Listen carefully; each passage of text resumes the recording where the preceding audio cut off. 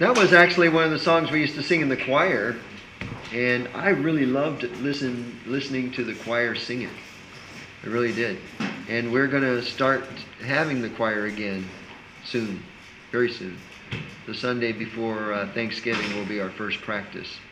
So I'm going to be grabbing old choir members and new choir members so that we can practice. Huh? Manasseh, maybe. Yeah. What? I'll do it. Yeah. Why she throwing me under the bus? She's, she's not throwing you under the bus. She's throwing you in the choir loft. Yeah. Acts chapter 25, verse 21. Acts 25, verse 21. And um, let's see, where are we at here? This is the end of the chapter of Acts 25. And if you remember the story in Acts 25, 24, in Acts 24, Paul goes before Felix. And Felix kind of hangs on to him for a couple of years because he's hoping to get a little money out of it before he moves him on, which he never does. And so uh, Felix kind of moves off the scene, and then Festus moves in. And I can't, I, I can't, I'm sorry, I, but every time I hear the name Festus, I just think of an old Western that used to be on TV called Gunsmoke.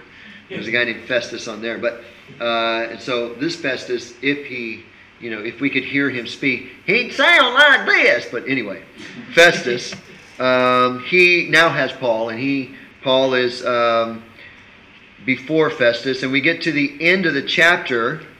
And uh, that's when King Agrippa arrives. And if you remember, King Agrippa shows up, and there is some um, behind the scenes connection uh, between them and, and other important people, really. And so uh, Festus begins to explain to King Agrippa about this guy, Paul. And so uh, that's kind of where we are in the story. And so we pick up in verse 21.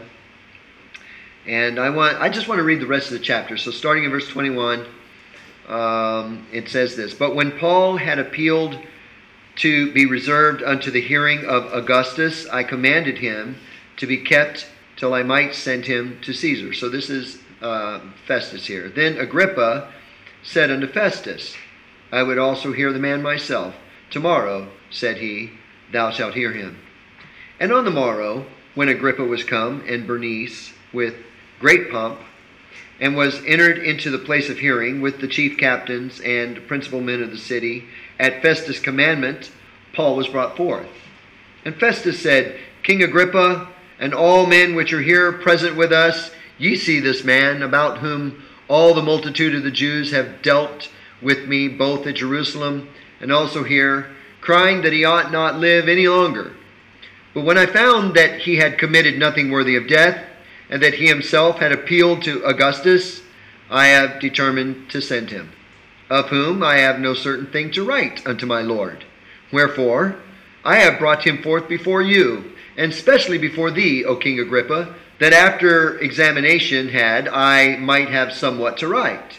For it seemeth to me unreasonable to send a prisoner, and not withal to signify the crimes laid against him. So, um, the situation here is that Festus now has talked about Paul to King Agrippa. And King Agrippa is intrigued at the very least. And he says, Yeah, you know what? I think I want to talk to this guy. Bring him out. So the next day, uh, they do. They bring him out. And so that's when King Agrippa gets to question Paul. So in verse 21, it says, But when Paul had appealed to be, now this is Festus talking. He's still explaining the case to King Agrippa. And he said, But when Paul had appealed to be reserved unto the hearing of Augustus, I commanded him to be kept till I might send him to Caesar. Now, um, it's believed by most conservative Bible scholars that the reigning emperor at this time was most likely Nero. And so, and yet he calls him Augustus. And so, uh, Augustus, uh, they believe, is somewhat of a title, okay? Um, during that time period that they would call the Caesar, whoever the Caesar was, Augustus. In reality, the word is actually Sebastos. Sebastos kind of sounds like Tabasco, but it's not. Sebastos, and that you know at its root the meaning is um, to be worshipped, and so you kind of can see that that same Greek word used in Romans 1:25. It's not important, but just so that you can know that that's the root of the word. So they think that that's kind of where the word Augustus, maybe maybe there's some connection there. Uh, think of it in terms of of of um, you know like the venerable one, okay, the exalted one, or something of that nature. Um, and the title was first used by Caesar Octavianus, who was the Roman emperor at the time when Jesus was born. Luke chapter two. The Caesar, the the uh, the census by Caesar Augustus. Okay, but that really wasn't his name either. So Augustus was kind of like you know just a title that they would take. My name is Augustus. You know, I'm the venerable one. You must worship me. Blah blah blah. Um, we we don't know how long of a time period that Paul had to wait under Festus. We know under Felix it was two years. Festus comes along, but it doesn't seem like a real long time. It, it, just seems like maybe a shorter period of time. It could have been, you know, a couple of months or maybe even shorter than that. We, are not really sure. Uh, but he, uh, we do know that when Agrippa comes, it was certain days because that's what it said in verse 13, Acts 25, 13. So that kind of indicates a shorter period of time. So not a lot of time has gone by. Paul was under Festus, I'm, I'm sorry, under Felix for two years. Then Festus comes in. Festus goes down to Jerusalem. He's there with the Jews. He goes back up, takes a group with him. And it's been certain days now. So you're probably looking a month, two months maybe. And now he is going to speak to Agrippa. Now, I mean, think about this for a moment. Think about the fact that Paul is the apostle to the Gentiles and that he knows that he is going to preach before kings and so on and so forth. He's been doing that all along the way. Um, you know, two years with Felix, you know he had a chance to really break things down with Felix, really explain a lot of detail. And then he's with Festus, and, you know, we, we already know what he said to Festus, and now he's going before King Agrippa. So, how many people actually get the opportunity to witness to people of that, you know, that position? Um, you know, you may get to witness to your direct supervisor, um, and that's a good thing because you have a lot of contact with them. But um, you know, I remember when I was when I was in uh, when I was in the Air Force, I, I was a staff sergeant and a lieutenant colonel. Our squadron commander came in and cursed God, and uh, and I had a I had a, a rule, and you know, this is my personal rule. In the control room, there were five or six of us that worked in control room. If they cursed God, then that was uh, that was open door. I told him, I said, "You curse God, that's open door for me to start preaching." And I would. So now in comes this lieutenant colonel. He gets mad about something during an exercise and he curses God. All eyes are on me. I said, "Sir, can I speak to you privately for a moment?" So we went outside and I asked him not to do that and told him I was a Christian. Immediately he got religious. Oh, well, I used to teach Sunday school back when I was in the States. Yada, yada, yada. And I said, Well, sir, you're a far cry from a Sunday school teacher right now. And he said, Yeah, I'll try to be careful. So he went on about his way. A few minutes later, I went back inside, and my boss goes, You didn't. I said, Well, what makes him any different of a man than you? His position. Now, here's Paul. He's got an opportunity. The point is, if you get the opportunity, it doesn't matter who they are. Tell them. You know, there's going to be a lot of very rich and important people in hell. And some of it's going to be our fault because we didn't tell them. All right? So we need to be very careful. Well, we'll be responsible for not telling you. Let me put it that way. Okay? So Paul has been preaching now to all of these big, famous people. So verse 22 says, Then Agrippa said unto Festus, Huh, that's interesting. I would hear the man myself. So Paul has his interest. He's intrigued. He wants to know more about this guy, probably because, after all, Felix held him for, you know, two years and never sent him on. And then, you know, the it's very clear that the Jews want to kill him. And it's very clear that, that Festus doesn't know what to do with him. He's just a difficult case. So Agrippa's like, sounds like an interesting guy. I want to hear him myself. Send him to me. Tomorrow, said he, he there being uh, Festus, thou shalt hear him. So, from Agrippa's response, it doesn't initially sound as if Festus was it doesn't, to me, when I read this, I don't think Festus was making a formal request. I think they were just kind of hanging out together or something, you know, or doing their thing. And, and Festus says, Yeah, you know, I got this guy named Paul. You're not going to believe this. Listen to this story, King. You know, let me tell you about this. And he tells him about it, and King Agrippa goes, Wow, that's pretty interesting. I'd like to hear this guy myself. So I don't think it was a formal request. It might have been. I don't know. But it doesn't initially sound like a formal request. Um, but Agrippa's interest is so piqued that he just wants to see Paul and hear Paul's testimony for himself. And Festus is quite happy. He's, he says, You're not going to believe this. I got this guy named Paul. This dude is a headache. He's giving me all this trouble. I don't know what to do with him. I'm supposed to send him to Caesar, Caesar but I can't send him to Caesar because I, I don't have a crime. And Agrippa goes, Interesting case. I'd like to hear him.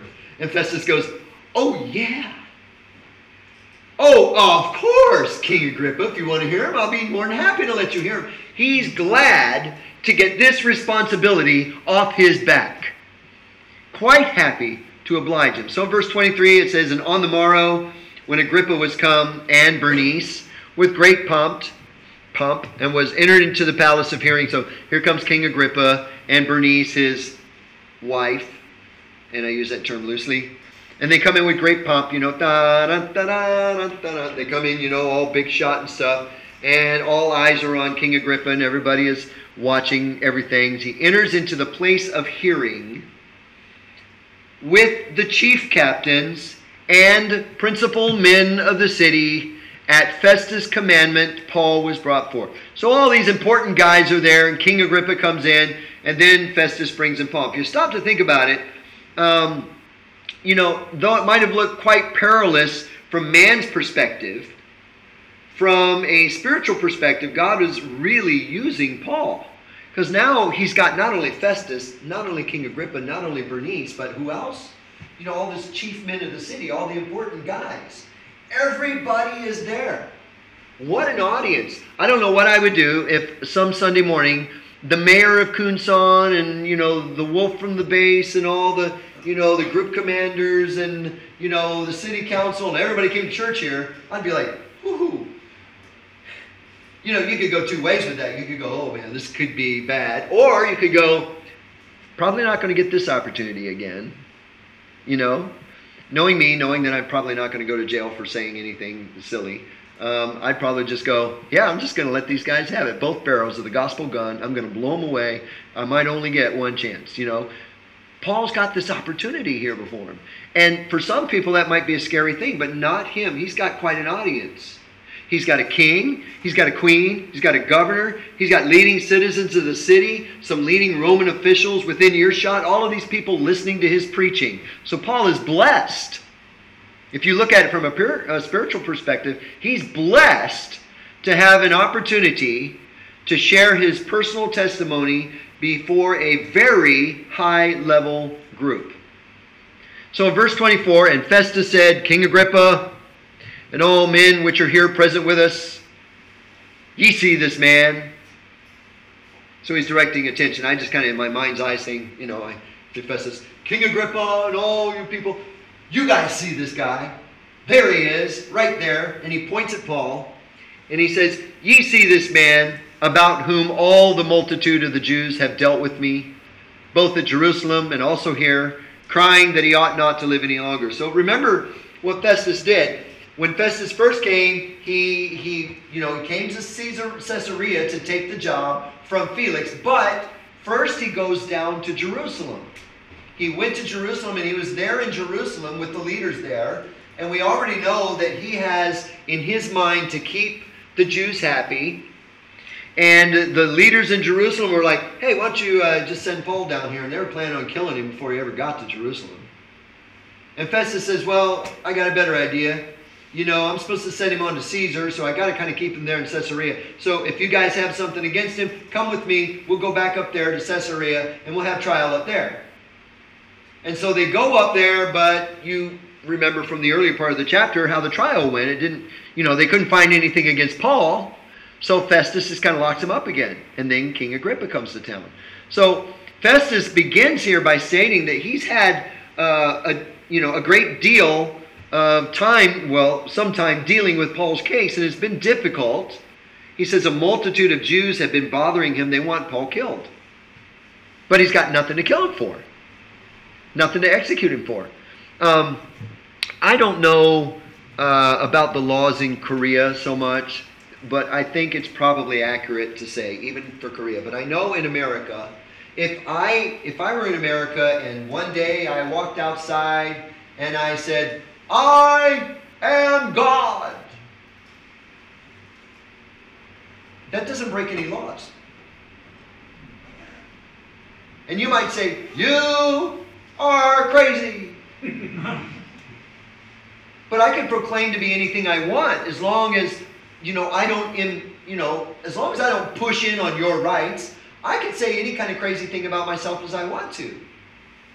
You know, and I can preach any kind of crazy religion I want to. And I told you before, there's a, a religion in America where they worship, basically worship a bowl of spaghetti noodles and it started as a joke, and then somebody got serious about it, and now it's kind of a deal. You know, the great spaghetti monster in the sky or something, whatever they call him. It's kind of crazy, but doesn't break any laws.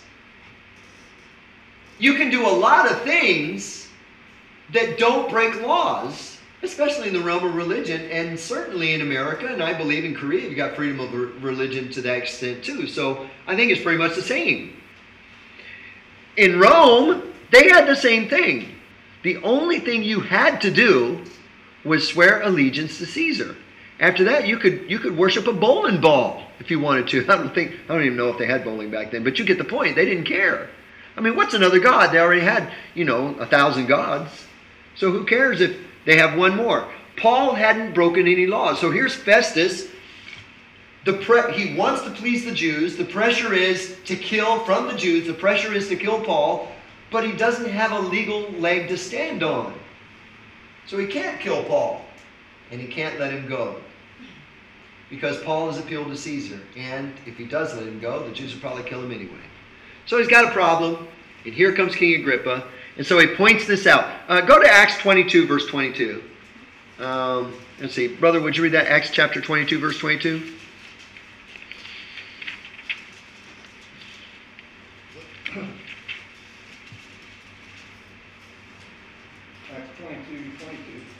And they gave him audience unto this word, and then lifted up their voices and said, Away with such a fellow from the earth, for it is not fit that he should live. So they're crying out, they want him dead. Clearly. But he hasn't broken the law. He's got no reason to, to kill him. So when you when you start comparing what the Jews want as compared to what Festus has to do, you can understand why he's in such a hard position. So, verse 25, it says in Acts 25, verse 25, But when I found that he had committed nothing worthy of death, which is what you know the end of the trial was, and that he himself had appealed to Augustus, I have determined to send him. So, Festus had a desire to be free of the problem. And if he could have released Paul and been free of the problem, he probably would have. But the thing is, Paul had appealed to Caesar, so he couldn't just let him go. He had to send him on to Caesar. But he had no charge to attach. It's like, you know, uh, it's like sending, you got a worker, right? And you don't like this guy for whatever reason. And you really, I mean, he just grates against you the wrong way, and you just want to get him booted out of your shop and so you send him up to your boss, and yet you got nothing to send him on with. He, you know, you need to talk to this guy. Well, what's he done? Well, nothing really. Then why do I need to talk to him? Well, because you just need to. And you got nothing on him. What are you going to do? You can't. It's just not possible. This is Festus' problem. He's, he has to send him on. He's got no charge. So he really doesn't want to send him on because if he does, that's going to make him look real incompetent. And I mean, he's a new guy at the job, right? He's just had a job a few months here. Who wants to look incompetent when you're a new guy in the job? So, verse 26, he says, Of whom I have no certain thing to write unto my Lord. I got nothing to say. Nothing to write unto my Lord. Wherefore I have brought him forth before you, and specially before thee, O King Agrippa, that after examination had, I might have somewhat to write. So, having nothing to accuse Paul, uh, it wouldn't be prudent to send him on to Rome. So Festus was quite happy for King Agrippa to try the case because maybe King Agrippa can find something, anything. Can we get him? Can we bust him on jaywalking? Something, anything to send him on. And he's hoping that Agrippa can find a cause to send up with Paul to Rome. But of course, that doesn't happen. We'll get to that in chapter 26. Last verse in chapter 20 or chapter 25 it says this: "For it seemeth to me unnecessary or unreasonable to send a prisoner, and not withal to signify the crimes laid against him." So, in other words, I want to send him on to Caesar. I have to send him on to Caesar, but I can't send him on to Caesar because I got no crime. And so that's kind of where the chapter ends. And we pick up in chapter 26, verse 1, where it says, Then Agrippa said unto Paul, Speak. And we'll come back to that next week. So that wraps up Acts chapter 25. Any questions or comments on that? Nazi. Good deal. Okay, so here's what we're going to do. We're going to close in prayer, and then after that, the, the people that I mentioned earlier today that I need to see upstairs for the uh, missionary review, we're going to do that. Uh, shouldn't take us that long, maybe 10, 15 minutes. And uh, then after that, we're, we're free to go. So, uh, if there's no questions or comments, those of you who know who you are and what you're supposed to do, um, I'll see you up there in just a couple minutes. So with that, let's see. Uh, Brother Cole, would you close us in prayer?